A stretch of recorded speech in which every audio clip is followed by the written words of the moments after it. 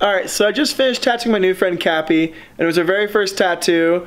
At the age 75, every shop in town wouldn't tattoo her. They all kind of told her that she was too old, the skin was too loose, and it wouldn't really work good to hold a tattoo, which is which is true, you know. But for what she wanted, she just wanted her handwriting on her arm.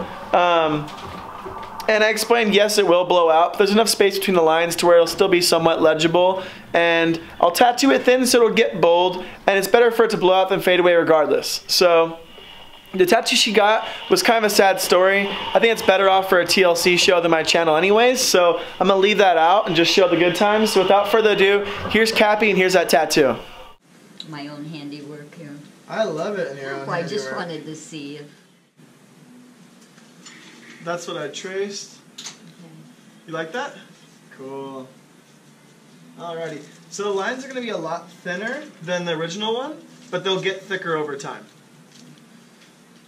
So the doctor will have a heart attack. well, I mean, like we said about like the skin, you know, so the ink will spread. So if we go thin, then the ink will spread and it'll look thicker over time. So better than going thick and it's spreading too much and then it being like, oh no, it's too thick. So I think this will look good. I just whatever you, I hope so. We're gonna start here and work away from right to left. This won't take very long at all. It's just gonna feel sharp and annoying. That's the best way to describe it.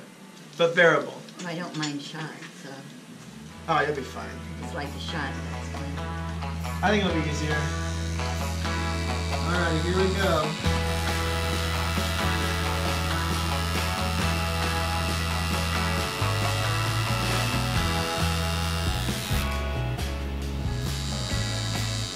I'm grateful that you found us. Pardon? I'm grateful that you found us over here. Oh, I'm very grateful.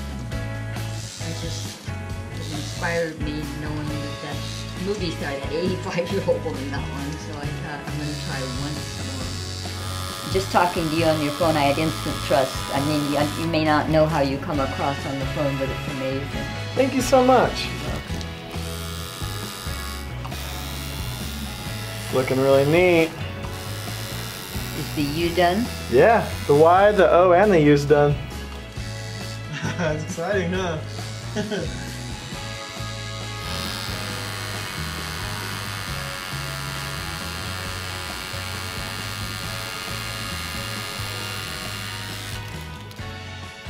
Alrighty, I think your tattoo's done. Oh my goodness. Not too bad, Oh, huh? I love it. Me too. Thank you. Yeah, thank you so much. I appreciate you. Bye. Take care.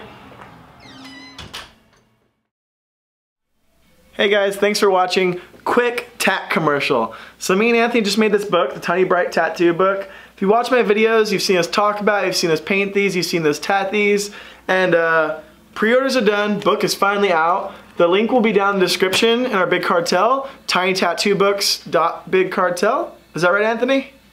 Yeah. Yeah. tinytattoobooks.bigcartel Dot com, yeah. so yeah we have this book we have the tiny black tattoo book. So whether you're a tattooer or a tattoo collector tattoo enthusiast it's just going to be flashing here. It could be your next tattoo idea. It could be something you want to redraw or trace or mess around with. It could be something you want to reference. It could be something cool just to have on the coffee table or something to look at while you poop. So if you're into it um, yeah, hook us up. Buy the book. Down below in the description. Click on it. Buy it now. Thanks. Later. Taters.